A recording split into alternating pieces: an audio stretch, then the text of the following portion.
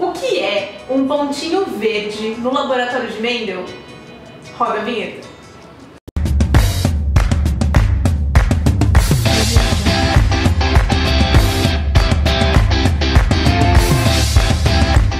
Olá galera do canal, tudo bem com vocês? Então vamos para mais um vídeo de biografia, agora falando sobre Gregor Mendel. Obviamente que você já ouviu falar sobre Mendel nas aulas de genética, é o pai da genética, né? Então Mendel, como vocês acho que sacaram na piadinha lá no começo, ele sempre trabalhou com as ervilhas. Então foi o seu principal método vivo de estudo. Ele tinha, na verdade, também camundongos e vários outros vegetais, mas Mendel sempre curtiu as ervilhas.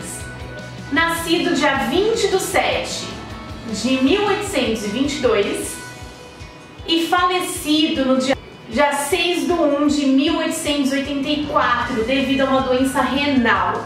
Vamos ver então a história sobre Mendel. O Mendel, ele sempre foi, então ele gostava de estudar, ele já era um naturalista, se formou em biologia botânica, mas também ele gostava da meteorologia austríaca e também seguiu a parte de monge agostiniano. Então ele era monge, biólogo e ainda meteorologista. Quando criança, o Mendel gostava muito de observar as plantas, como que era o seu nascimento, como que era o seu cruzamento, como aquela florzinha que é totalmente roxa cruzando com a branca, o que que dava. Então, desde criança, admirava o cruzamento das plantas. Uma criança meio doida, né? Como você vai ficar olhando e pensando em cruzamento de plantas? Enfim, Mendel curtia os tchuk-tchuk das plantas. E aos 21 anos, Mendel entrou no mosteiro do Santo Agostinho, e lá ele ficou incumbido de cuidar das plantas e da vegetação, tanto do mosteiro como fora. Então ele ficou ali cuidando das plantinhas e isso instigou ainda mais que em 1865 ele fez a sua primeira lei, chamada Lei da Hereditariedade, mais conhecida hoje nas provas, nos vestibulares, como Lei de Mendel. Com isso, então, ele virou professor, explicando como que funcionava o cruzamento das plantas, feijões, camundongos também, né? Que é um mamífero, mas principalmente das ervilhas. Então ele era um professor de botânica que ensinava genética através dos vegetais.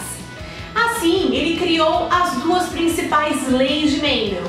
A primeira lei, que é a lei da segregação dos fatores, Acho que vocês já ouviram sobre ervilhas lisas e rugosas cruzando, ou as ervilhas amarelas e verdes, né? Azão azão e por aí vai.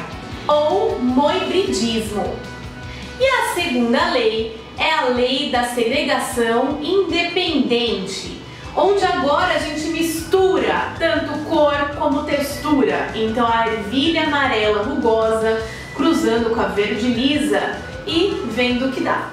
Essa lei também é conhecida como de hibridismo. É o que você precisa saber de Mendel. Mendel, pai da genética e conhecido por suas duas principais leis, ok?